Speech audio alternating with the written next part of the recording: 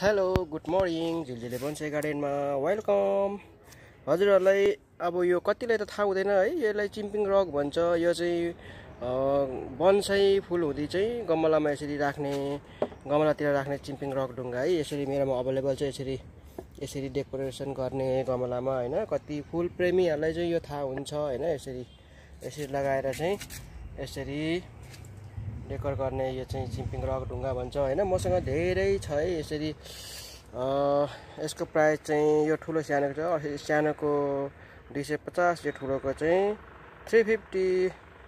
अनि यहाँ चाहिँ यो पनि सबै खालखालको पिन्चिङ रकहरू तयार हुन्छ। यो चाहिँ बन्साईको गमला हुँदी बन्साई पट हुँदी बन्साई प्लान्ट हुँदी लगाउने है यसरी। अनि एकुरेमको माछाको एकुरेम हुन्छ नि जुन फिसको त्यो भित्र सिसामा लाउँदा नि हुन्छ।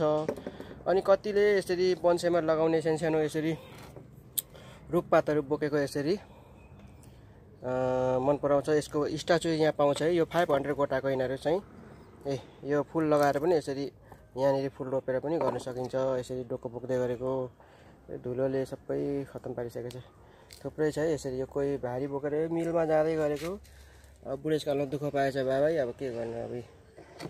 यसरी मिलमा भारी बोकेर जाँदैछ ऊभन्दा ठुलो कोही यसरी घैला बोकेको छ कोही यसरी लुगा कपडा बोकेर परदेश हिँड्दै गरेको यो फिसिङ रोड बल्छी माछा खेल्दै गरेको यो नानी बोकेर हिँड्दैछ सानो नानी यहाँनिर यसरी बेबी बोकेर हिँड्दै गरेको।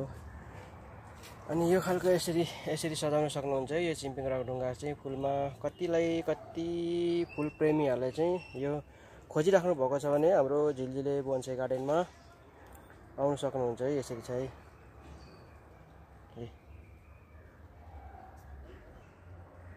ठुल्ठुलो स्ट्याचुहरू लिनुहुन्छ भने ठुल्ठुलो पनि छ यसरी। डोको बोएको जुनै फुल पनि रोप्न सक्नुहुन्छ यसरी। यसरी स्ट्याचुहरू चाहिँ यसरी गमलामा यसरी सजाउने यसरी है यहाँ हिँड्दै गरेको छ कोही है। अब यसरी यहाँ माथि यसरी बकुलाहरू पनि छ है यसरी। यो चाहिँ बन्साई चाइनिज बर हो फाइकसको आइटम हो यसरी। हस् त थ्याङ्क यू